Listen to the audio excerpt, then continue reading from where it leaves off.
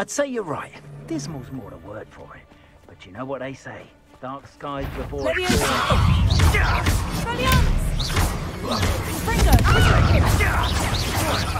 Now you're just getting on my nerves.